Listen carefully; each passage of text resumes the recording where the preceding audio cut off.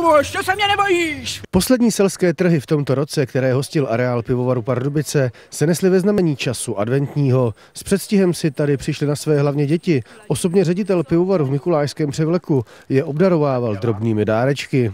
No já si myslím, že je zrovna adventní část a domníváme se, že v tomto čase Mikuláš na trhy patří. Básničku dětičky Mikuláše mi povědět, co? Víte něco?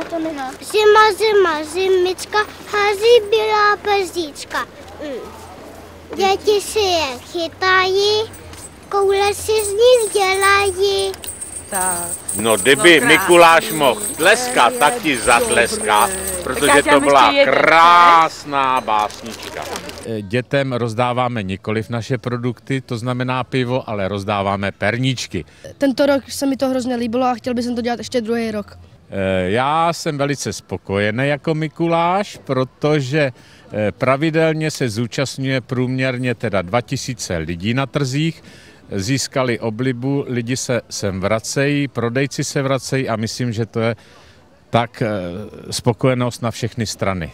Mikuláš Jan Kvasnička za pardubický pivovar slibuje, že trhy budou i nadále pokračovat. Vždyť se staly oblíbenou vycházkou pro rodiny z celého pardubického kraje.